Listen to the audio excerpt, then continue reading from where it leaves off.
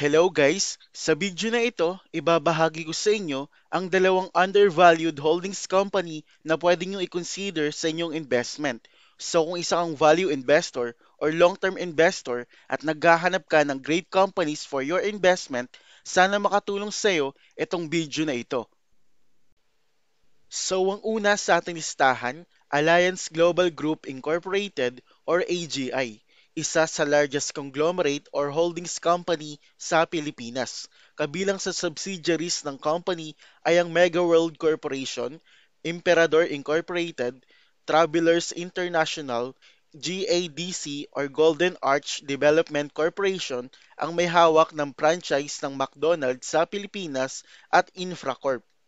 So ito yung kagandahan kapag nag-invest ka sa isang holdings company meron ka na ring indirect ownership sa kanyang mga subsidiaries. For example, kapag nag-invest ka sa Alliance Global Group Incorporated, meron ka na ring indirect ownership sa kanyang mga subsidiaries like Megaworld at Emperador Incorporated.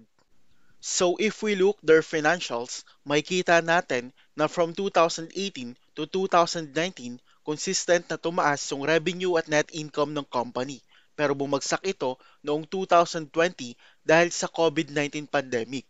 But from 2020 to their latest trailing 12 months, makikita natin na consistent din na nakarecover yung revenue at net income ng company na nakabalik na sa pre-pandemic levels. So for the revenue, meron silang 4.29% na 5-year average growth while 14.56% for their net income. At para naman sa equity ng company, makikita natin na from 2018 to third quarter ng 2022, consistent na tumaas yung equity ng AGI.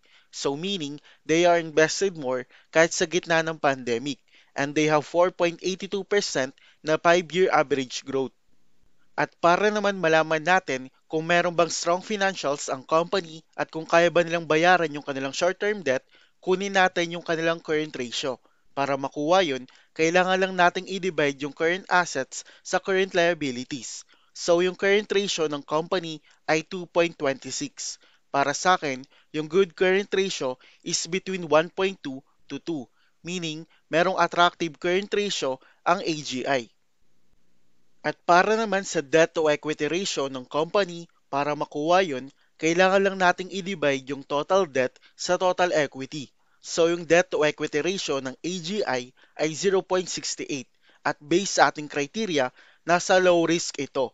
And by that, we can say na merong attractive debt to equity ratio ang AGI. So yung current EPS or earnings per share ng AGI ay 1.84 while yung kanilang PE ratio ay 6.82 meaning we are paying 6.82 pesos to earn 1 peso na for me, super attractive since below siya sa minimum PE ratio na gusto natin which is 15. At para naman sa intrinsic value ng company, ang ating computed intrinsic value for AGI ay 19.84 pesos. Using the margin of safety na 30%, ang ating buy below price ay 13.89 pesos. So again guys, pwede nyong babaan yung margin of safety based sa inyong investing strategy pwede nyong gawing 25% or 20%. At para naman sa mga investors na ginagamit din ang book value sa kanilang valuation, nasa 22.16 pesos ang book value ng AGI based sa website ng PSE. So next is GT Capital Holdings Incorporated, ang isa sa pinakamalaking holdings company or conglomerate sa Pilipinas. Ang ilan sa mga subsidiaries ng company ay ang Metrobank, PS Bank, First Metro Securities Corporation, Toyota Philippines, Federal Land, AXA at meron din silang ownership sa MPI or Metro Pacific Investments Corporation. So if we look their financials, makikita natin na from 2018 to 2019, consistent na tumaas yung revenue at net income ng company pero bumagsak ito noong 2020 dahil sa COVID-19 pandemic. But from 2020 to their latest trailing 12 months, makikita natin na consistent din na nakarecover yung revenue at net income ng company na nakabalik na sa pre-pandemic levels. So for the revenue, They have 4.78% na 5-year average growth, while 30.85% for their net income.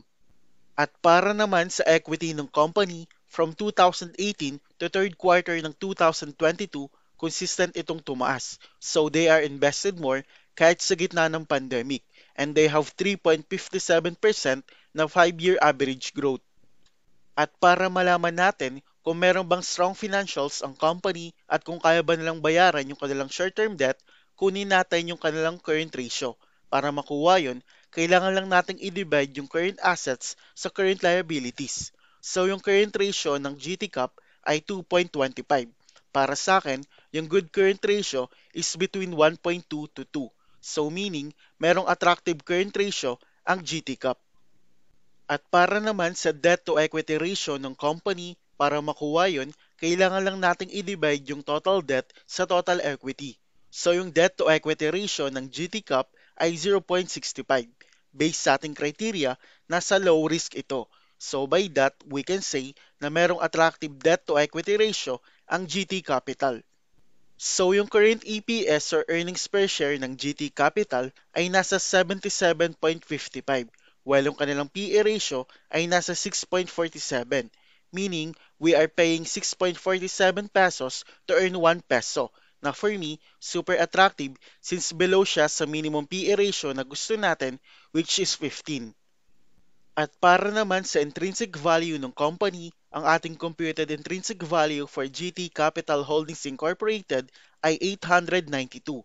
Using the margin of safety na 30%, ang ating buy below price ay 624.40 pesos. So again guys, uulitin ko lang, pwede nyong babaan yung margin of safety based sa inyong investing strategy. So pwede nyo siyang gawing 25% or 20%. At para naman sa mga investors na ginagamit din ang book value sa kanilang valuation, nasa 848.06 ang book value ng GT Capital based sa website ng PSE.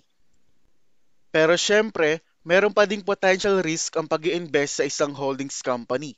Like any issues sa kahit anumang subsidiary nila, possible na makaapekto ito sa stock price ng isang holdings company. So hanggang dito lang muna guys ang ating review. Sana nakatulong sa inyo itong video na ito. Kung nakatulong man, please don't forget to like this video. At kung bago ka naman sa ating channel, please subscribe and hit the bell button para updated ka sa mga future videos na i-upload natin. Maraming salamat po.